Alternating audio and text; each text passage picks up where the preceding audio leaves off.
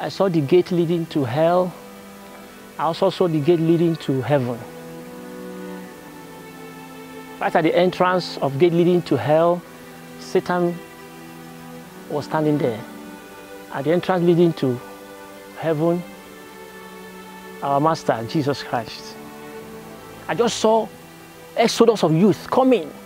But what surprised me is that majority of the youth I saw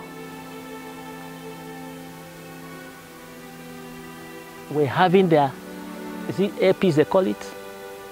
And their hands set like this. Some dressed with crazy jeans torn. The women they expose their body. Half jeans half body you see their belly you see many ugly things. I just realized that they were marching with you know as if they are dancing to a special worldly song kind of song. Hmm, you like this? And they were going going. Many were going towards the gate leading to hell. Only few youth were going towards the gate leading to heaven. I just saw angels coming, shouting, Don't go! Don't! Wow.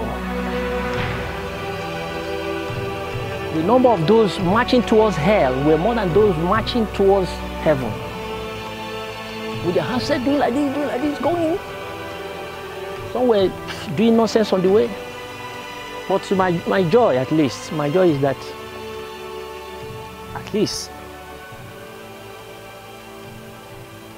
Many walk, walk towards the gate of heaven, but majority.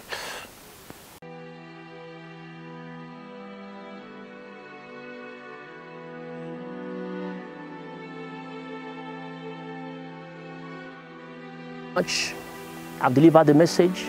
That is it. God loves the youth, but hates sin. Take note of that. God loves youth all over the world, but he hates sin. He loves sinners, he hates sin. So therefore, whatever he can do to come back to the drawing board and know the area you've gone wrong, God is ready. It is never too late to start believing and obeying the word of God.